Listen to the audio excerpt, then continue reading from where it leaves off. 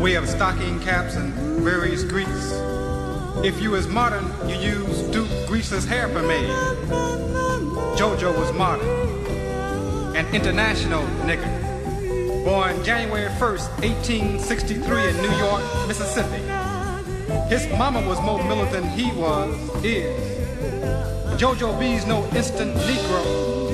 His development took all of 106 years and he was first to be stamped made in USA. Where he arrived bow-legged, a curve ahead of the 20th century's newest weapon, television, which invented how to win and influence people and gave JoJo his however look, however you want me. We discovered that with the right brand of cigarettes, that one with his best girl could skip through grassy fields in living color and in slow motion. Caution, niggas, cigarette smoking will kill you and your health. And that the breakfast of champions is black-eyed peas and rice.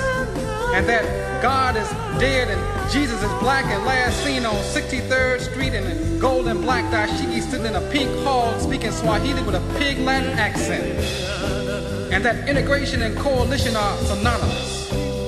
And that the only thing that really mattered was who could get the highest on the least or how to expand and break one's mind.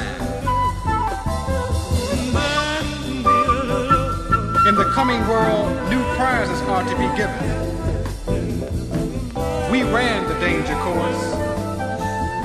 Now it's a silent walk, a careful eye. Jojo is there. To his mother, he is unknown. She accepted with a new look. What would you do if someone loved you? Jojo is back. And he'll catch all the new JoJos as they wander in and out, and with a fan-like whisper say, You ain't no tourist, and Harlem ain't for sightseeing, brother.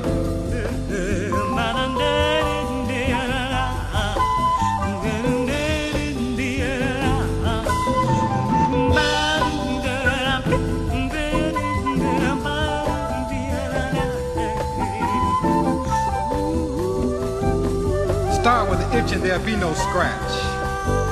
Study yourself. Watch your every movement as you skip throughout the south side of Chicago. Be hip to your actions. Our dreams. Our dreams are realities traveling the nature's way. We meet them at the apex of their utmost meaning means we walk in cleanliness.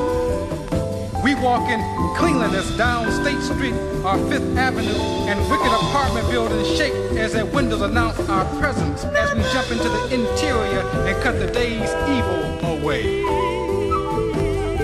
We walk in cleanliness.